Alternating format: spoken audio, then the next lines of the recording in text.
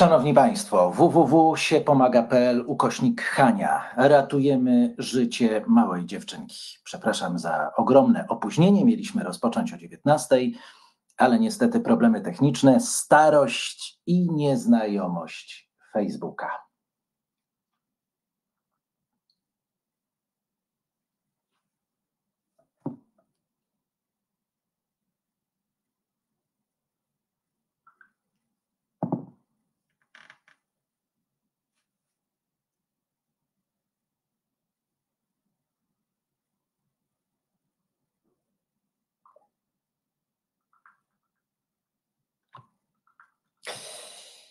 Drodzy Państwo, jeszcze raz www.siepomaga.pl ukośnik Hania. Ratujemy życie małej dziewczynki. Każda wpłata ma znaczenie, a my, ludzie, którzy zajmują się słowem, którzy grają, którzy śpiewają, którzy opowiadają, próbujemy pomagać jak tylko możemy. Ja pozwolę sobie przeczytać fragment bajki. Bajki z książki Scena z życia smoków a raczej sceny. I będzie to scena druga, zatytułowana Zapoznajemy się ze smoczą muzyką.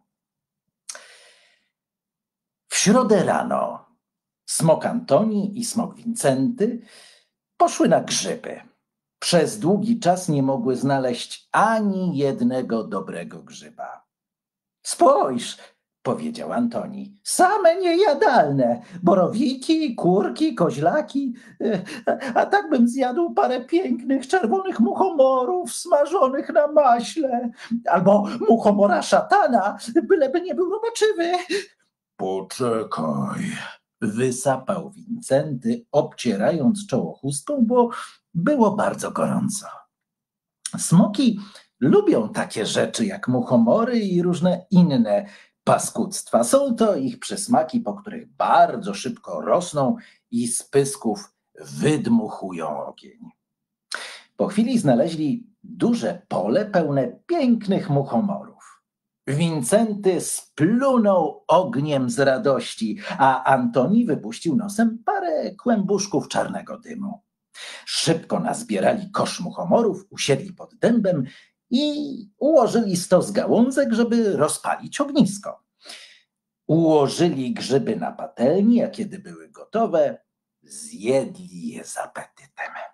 Położyli się na plecach, syci i zadowoleni i zaczęli rozmawiać. Ciekawe, dlaczego ludzie nie jedzą muchomorów, zauważył Antoni. Bo im szkodzą, stwierdził Wincenty. A tam, mały ból brzucha jeszcze nikomu nie zaszkodził.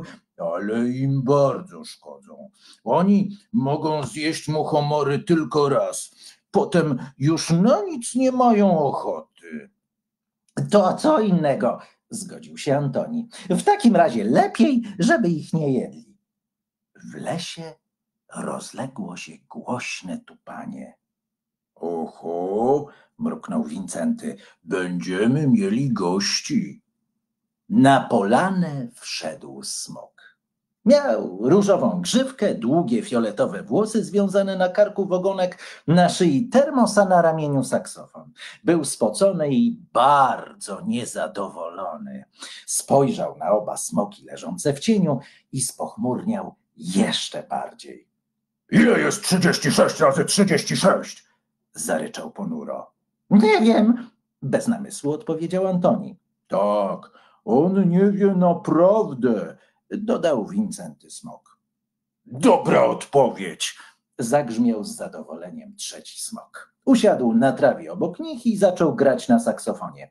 Po chwili przerwał i powiedział: Możemy zostać przy. Rażały mnie smoki, które wiedziały, ile jest 36 razy 36. Taką wiedzę uważam za dowód braku wyobraźni. Ale my nie mamy wyobraźni, zaprotestował Antoni. Nie potrafimy sobie wyobrazić niczego, czego nie zobaczymy lub nie pomacamy. Trzeci smok pograł przez chwilę na saksofonie, a potem zapytał: A możecie sobie wyobrazić moją muzykę? Tego nie trzeba sobie wyobrażać, przecież ją widać, mruknął Wincenty Smok. Jak zaczynałeś grać, to było widać pomarańczowe motyle skaczące po grubym, miękkim materacu, potem zielone nietoperze opalały się w hamakach, a na końcu przyleciał łysy pies. Zakaszlał, wypił butelkę oranżady i zaczął się głośno śmiać. I wtedy wszystko zniknęło. To prawda, tak było, potwierdził Antoni. Sam widziałem. Trzeci smok poderwał się na łapy, skłonił głowę tak gwałtownie, że mu się różowa grzywka rozwiała nad czołem i powiedział: Nazywam się smok Zygmunta i mam zamiar zostać waszym dozgonnym przyjacielem. Czy tego chcecie, czy nie? Oba smoki popatrzyły po sobie niepewnie. Dlaczego smok Zygmunta? zapytały jednocześnie. Smok Zygmunta usiadł i zagrał na saksofonie. Powietrze wypełniło się pomarańczowymi motylami i zielonymi nietoperzami, za którymi gonił łysy pies. Już byś przestał! warknął Antoni. Ten łysy pies mnie denerwuje. Smok Zygmunta przestał natychmiast. Łysy pies zniknął i smok zaczął opowiadać. Mój ojciec miał na imię Zygmunt. To raz. Kiedy się urodziłem, to byłem tak duży jak dzwon Zygmunta i głos miałem silny jak dzwon Zygmunta. To dwa. Więc moja mama nazwała mnie Smok Zygmunta. To trzy. A że jestem ukochanym jedynakiem, więc na tym się skończyło. To cztery, powiedziały razem oba smoki. Co cztery? Zdumiał się smok Zygmunta. Nic, Dobra odpowiedź. stwierdził smok Zygmunta i zaczął grać na saksofonie. Tym razem łysy pies pojawił się tylko na chwilę, ale zobaczywszy groźne spojrzenie Antoniego, zaraz zniknął. Na jego miejsce przybiegły myszy z różowymi brzuszkami, ustawiły się w pary i zaczęły śpiewać kołysanki.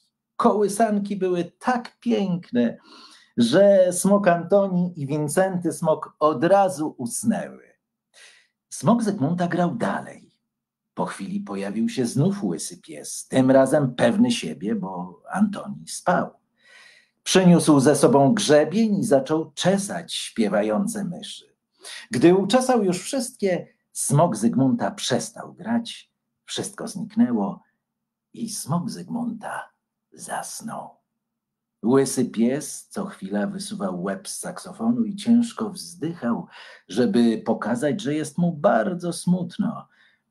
Stary dąb szumiał nad smokami, a jego liście wyglądały jak zielone nietoperze. Bardzo Państwu dziękuję. Przypominam www.siepomaga.pl ukośnik Hania. Zbieramy pieniądze dla bardzo ciężko chorej małej dziewczynki i trzymamy kciuki, że ta akcja przyniesie efekty. Do usłyszenia, do zobaczenia.